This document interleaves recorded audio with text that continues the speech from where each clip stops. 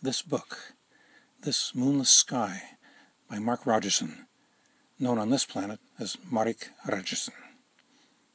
It starts with a short dedication in our local Zdionans language. I'll just read it for you so you can see what that language sounds like. The dedication starts by thanking my friends and my mentors, my late parents, and it ends up with a God bless. Viadston, thanks. Viadstam Rauman, ten sixen mils, primasar chanj mils. Viadstam et deia, ten weilen archenin mils, et enemet viadstamet in mahalamahesh. Part 1 Becoming Alien the Hard Way. Hi, welcome. First, a sidetrack. I made a lot of notes for this book while I was living through the events it describes. At one point, I thought the best note pages were lost forever, but a heroic young woman returned them to me at great peril to her life and mine. They had a dingy memo clipped to the front page, with skillfully calligraphed handwriting in black ink, followed by a masted battleship of a signature. Translated word for word from the harsh-sounding down language of the country we were in, the memo said this. This decrepit screed was seized from one of the plaguish vorticates in our work mob the one who consorts with the filthy so-called alien male mall. It's incomprehensible, worthless to us. Maybe idiot-level espionage. Incinerate it utterly, and attach two more sets of rings to his arms. Monitor him level 6, and ensure he has no further chance to violate our perfect values. Signed, Envang. This memo is now a survival talisman for me, a memento. I've always kept it attached at the front of my best paper copy of my notes or my manuscript. I'm used to seeing it here, so now it's also in the book. The rest begins at the beginning as I'd originally planned it. Ringtum District. That's the name of the geographic location we start at. I raised my face up and swung my arms up over my head, putting my hands together at the fingertips like a diver about to plunge.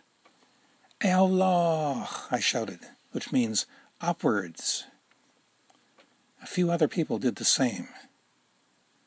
On the other side of a descending dust cloud, six metallic contraptions, diverse in form, emitted the same greeting. Bits and pieces of their frames pointed at the sky.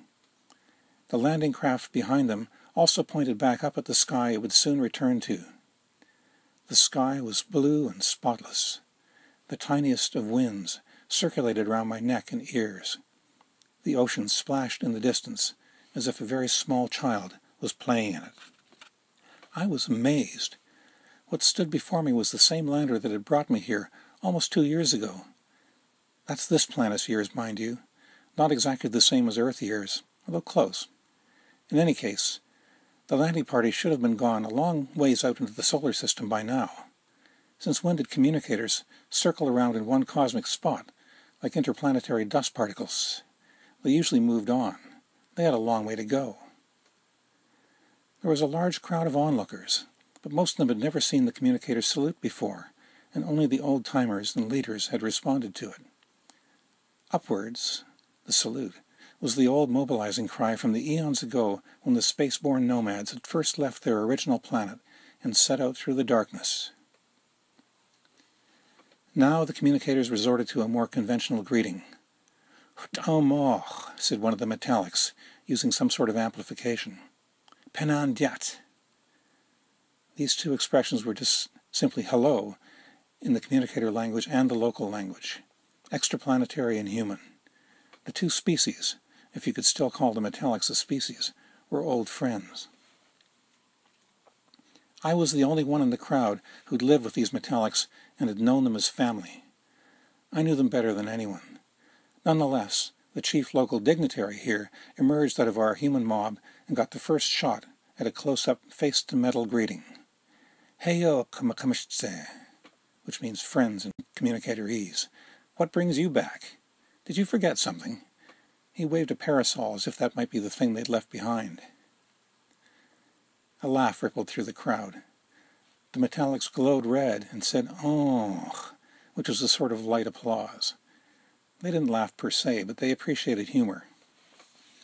We couldn't resist taking one more look at such a beautiful Aenopicon, said a metallic, using the local dignitary's formal title.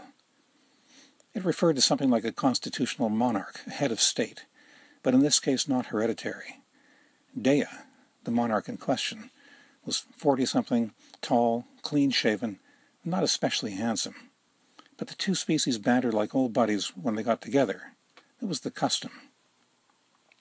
I don't believe a word of it, but make yourself at home. Our planet is your mat, Dea said. This was his first formality. A mat is a little chunk of land, and everyone in the country is given one to own.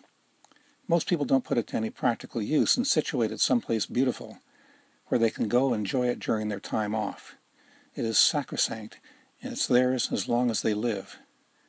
God forbid that they should ever lose their home in a catastrophe of some kind, but if they do, they can take refuge on their mat. My best friend, Xaceron, was the only person I knew of who'd actually ever done that, and he'd only done it for one night when his parents were furious at him. He was a rebel, that boy. My own mat was in a little overgrown ravine covered in vines, and it was more a hideaway than a viewpoint. Great place to spend a quiet hour practicing guitar, but it wouldn't have been comfortable to live on, even for a day. You can see the symbolism in Dea's welcoming remark, though. This planet is truly your privilege to visit, like your mat. I hope it makes sense to explain this sort of thing now. I don't know if this chronicle will have readers someday or not, but let's imagine for a moment that it will. People from our local area will recognize our cultural nuances right away, but I worry that any readers from other planets will feel unwelcome if I just leave them guessing. Coming to a new planet is disorienting, and no one is more aware of that than me. The explanations I'll intersperse in the next few pages are your mat, your welcome mat, your foothold here. Welcome to Voyaler. So I'll go on to explain that the Aenopicon wasn't completely serious when he said, Our planet is your mat. He doesn't really have jurisdiction over our whole planet. Our country is just a crescent shaped chunk, wedged between a mountain range and the planet's only known ocean. Surrounding our country on its three terrestrial flanks is the much larger semi tribal chaos we call Qadravos, or the Qadra. The technologically advanced communicators wouldn't be in any danger there but they've never been known to visit. The same goes for the countries up the coast in either direction. We happen to be their spaceport. Where is our Marrik? asked one of the metalloids, and with that encouragement I stepped out of the crowd. You are humongous, said the form, expanding its vertical frame by half a meter and contracting back. Ah, Nashtashtzake, I said, calling him or her by the shortest version of his name he would allow. You don't need to exaggerate. I was smiling like a fool. I'd grown a couple of centimeters, I'm sure, but I was still a skinny seventeen-year-old who would have been crushed on the football fields of his old hometown. I loved these metal guys with all my heart, and I couldn't get over seeing them again, completely unexpectedly. On the other hand, you couldn't really hug them. You have no idea how good it is to see you guys again, I sighed.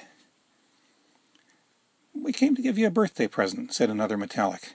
My old friend Tumarahashsaha. I laughed. This had to be a joke. For one thing, the actual date of my birth, October 6th, isn't translatable into any particular day on this planet. The equivalent day I'd picked as my nominal birthday here was months away. Uh, I should explain, despite lacking a moon here, we still group tetrads of weeks into months, with an extra short month to round out the end of the year. Secondly, since I'd been in suspended animation for a very, very long time, my chronological time was completely severed from my biological time. On the day I'm describing, I was probably over 400,000 years old, but I'd only lived 17 years, more or less. Where was my true birthday back there in the faded out mists of time? A long trip, planet to planet, Earth to quasi Earth. Low budget interstellar travel with not less than 10,000 Earth years needed per light year of distance covered closely situated stars, often four or more light years apart. Think about it. And me spending the time as a well insulated ice cube, oblivious to it all. Dea obviously thought the birthday remark was a joke, too. How can we help you, my friends? What can we get for you? No, truly, said Nashi, as I called Nashtashsuke in my own mind. We're just making a delivery, one human, a friend for our Marrik. The fact that some communicators would stick a new human down on this planet was not so unusual. The only reason this planet has a human population at all is that communicators had imported a great deal of Earth life and transplanted it here. Apparently the original biology of the planet had been gelatinous slime on shadowy parts of the surface. All that's left of that now is some slick spots and caves, and the gel whales, as they're called, of the ocean nearly featureless clear blobs that wander over volcanic hotspots in the water, living on chemicals. There had never been photosynthesis here, as far as we know, no plants, and life had not got very far. Anyways, let's move on. Okay, young man, time to come out, said Tumi, who would not let himself audibly be called anything shorter than Tumarahashsaha. He was the ship revivalist, the specialist in preserving and reviving biological life forms. The communicators themselves had once been biological, but they'd given it up for the sake of space travel. They'd had to develop a lot of biological skills to transform and transfer themselves entirely into electromechanical things. They were good at life and death. A boy came up the exit port of the lander. He blinked at the intense light of our tropical landscape. As he took his first step down the ramp, Solar reflections bounced off his straight blond hair like a laser show. Or so it seemed to me. He was neatly dressed in new blue jeans that looked as if they were straight off the rack in my old hometown on Earth. And he had a white cotton t-shirt featuring two small black stars in letters that said, Souvenir of Light Year 18.7. The boy twisted to look at something and I could see there was more written on the back of the shirt. Are we there yet? Ah, they must have had fun thinking that one up. He had running shoes with laces. Some of the kids in the crowd were pointing at them. We tended more to sandals around here. The tying up of shoelaces was a strange art. We hope you'll be so kind as to accept from us, said Nashi, a human who we couldn't bring to you last time for technical reasons. But here he is, and he is very excited to meet you. He has no other name, so we name him in our own tradition.